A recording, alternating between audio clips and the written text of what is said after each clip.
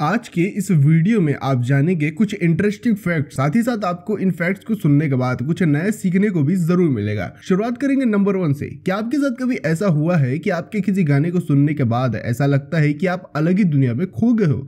या फिर कुछ मोटिवेशनल सॉन्ग सुनने के बाद आप अचानक से इतने मोटिवेट हो जाते हो कि पता ही नहीं क्या ही कर दोगे? तो ऐसा कुछ होने के पीछे कारण है दिमाग और म्यूज़िक का रिलेशन गाने हमारे सोचने और दुनिया को देखने का नज़रिया पूरी तरीके से बदल सकते हैं। नंबर टू बहुत से लोग जो सोशल मीडिया इस्तेमाल करते हैं, उनमें देखा गया है डिप्रेशन का बढ़ना। और ये होता है इसलिए क्योंकि ज़्यादातर लोग दूसरों की लाइफ को देखकर यही सोचते हैं कि दूसरों की लाइफ हमसे कहीं ज़्यादा बेहतर है। हमेशा दूसरों से अपने आप को कंपेयर कर, खुद को डिमोटिवेट करते रहते और डिप्रेशन का शिकार बनते चल जाते हैं। नंबर थ्री अगर आप खुद को स्मार्ट बनाना चाहते हैं तो दोपहर में सिर्फ़ एक छोटी सी नींद की झपकी आपको स्मार्ट बनाने में आपकी मदद कर सकती है। नंबर फोर हम चाँद तक पहुँच चुके हैं। आने वाले समय में मंगल में रहने की बात करते हैं, लेकिन इतना सब तो हमने एक्सप्लोर कर लिया। लेकिन आज तक हम अपनी पृथ्वी को ही पूरा एक्सप्लोर सही तरीके से नहीं कर पाए धरती के महासागर इतने विशाल और गहरे हैं कि इंसान सिर्फ़ उसका पाँच प्रतिशत ही एक्सप्लोर कर है। नंबर फाइव आप में से कईयों को पास्ता बहुत पसंद होगा और आपने कई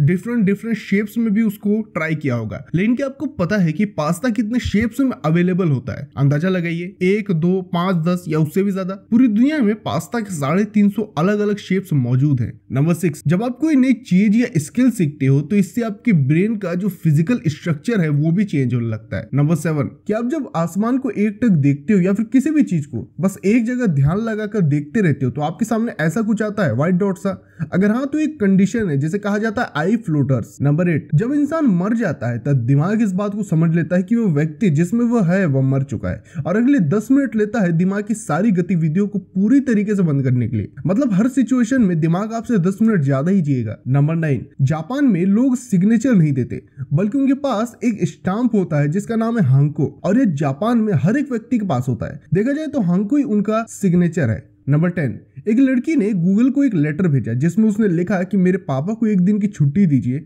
हम उनके साथ उनका बर्थडे मनाना चाहते हैं। अब सोचिए आगे क्या हुआ होगा, क्या गूगल का रिप्लाई आया होगा? जी हाँ आया। ये पढ़िए। गूगल ने उसके पिता को जुलाई के पहले हफ़्ते वेकेशन के तौर पर दे दिया और कहा, मज़े कीजिए। नंबर इलेवन पूरी दुनिया का 11 प्रतिशत सोना अगर कोई ओन करता है या फिर किसी के पास है तो वो है सिर्फ़ भारत की महिलाओं के पास। नंबर 12 21.3 ग्राम ये वज़न है आपकी आत्मा का। ये एक साइंटिफिक स्टडी के द्वारा कहा गया था, जो कि हुई थी 1907 में डंकन मैकडॉगल द्वारा। नंबर 13 अगर अमेरिकन लाइफस्टाइल पूरी दुनिया अपना ले और हर एक व्यक्ति एक नॉर्मल अमेरिकन के जैसे रहना शुरू कर दे तो हमको हमारी उस लाइफस्टाइल को मेंटेन रखने के लिए, लगने वाले रिसोर्सेस के लिए एक धरती काफ़ी नहीं होगी। लगभग चार अर्थ लगेंगे उन सारे रिसोर्सेज को पूरा करने के लिए। आपको कैसे लगे फैक्ट्स वीडियो के नीचे कमेंट करके बताएँ। साथ ही साथ वीडियो को लाइक करें शेयर करें चैनल को सब्सक्राइब करें। Bye bye